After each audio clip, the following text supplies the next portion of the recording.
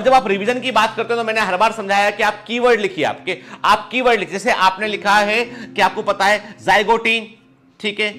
Synapses ये दो keyword है कि जाइगोटिन क्या तो दिमाग में घूम रिवाइज कीजिए जाइगोटिन क्या होता है। सिनेप्सिस सिंडेसिस क्या होता है? ठीक है? क्रॉसिंग ओवर क्या होता है? पैकाइटिन कब होता है? तो ये चीज़ें आपको केवल कीवर्ड है आपको दिमाग में एक वर्ड दिमाग में पकड़ना आपको और उसको रिवाइज कर रिवीजन का मतलब जो है पूरी कॉपी खोल के रटना नहीं होता है। रिवीजन का मतलब होता है कि आपने कीवर्ड लिया, फिर सोचा कि इसका मतलब क्या है। सोच खुद से। दिमाग को दिमाग को रिकॉल करना। देखो, क्या होता है एग्जामिनेशन हॉल में दिमाग को रिकॉल करना होता है। आप उसको पहले से हैबिट डाल दो। हम एक कीवर्ड देंगे तुमको, अपने दिमाग से बोल रहा हूँ मैं, खुद से, खुद को। खुद को कमांड दीजिए।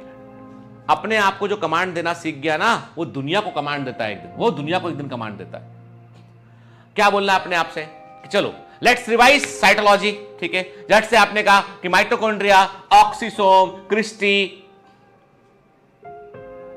तो झट से दिमाग में आना चाहिए अच्छा क्रिस्टी ऐसा होता है। तो ब्रेन को आप इसलिए, इसीलिए मैं कहता हूँ, एक कॉपी लीजिए, उसमें आप जो कीवर्ड होते हैं, उनको नोट कर लीजिए आप।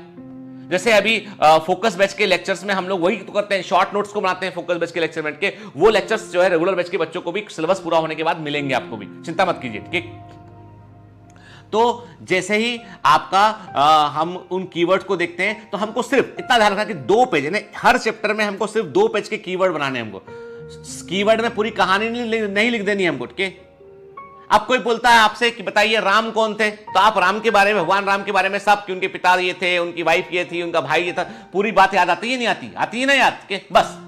ऐसे ही हमको याद रखना है कि कीवर्ड कीवर्ड के सेल थ्योरी किसने दिया? क्या मतलब? ये दिमाग से बोलिए। सोच भाई, सोच पड़ा था ना? दिमाग से बोलिए। इससे ब्रेन का पावर बढ़ेगा। ब्रेन का रिकॉल कैपेसिटी बढ़ेगा। और एग्ज़ाम में आप फोड़ कराएँगे टॉपर्स का सीक्रेट है, ये बता रहा हूँ। ठीक है?